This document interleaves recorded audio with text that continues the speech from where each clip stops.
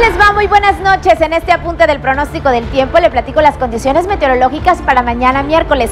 Estaremos arrancando con 20 centígrados, cielo parcialmente soleado. No hay pronóstico de lluvia y es que el ambiente bastante seco se estará reportando durante el periodo de la tarde, también con un tiempo sumamente caluroso. La temperatura máxima alcanzará los 37. Continuamos con esta nubosidad parcial y media al concluir con 26 centígrados.